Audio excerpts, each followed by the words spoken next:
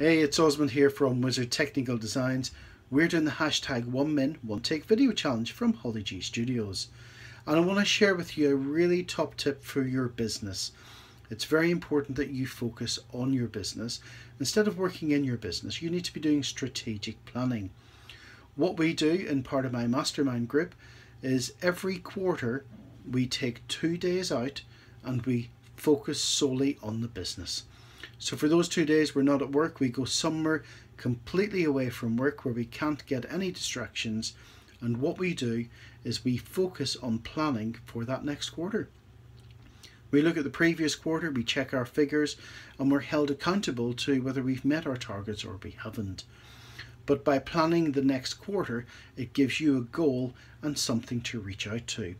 So my suggestion to you is plan your quarters, do some strategic planning, and get away from the business for two days to do that planning. I'm Osmond. This is the hashtag One Min One Take Video Challenge.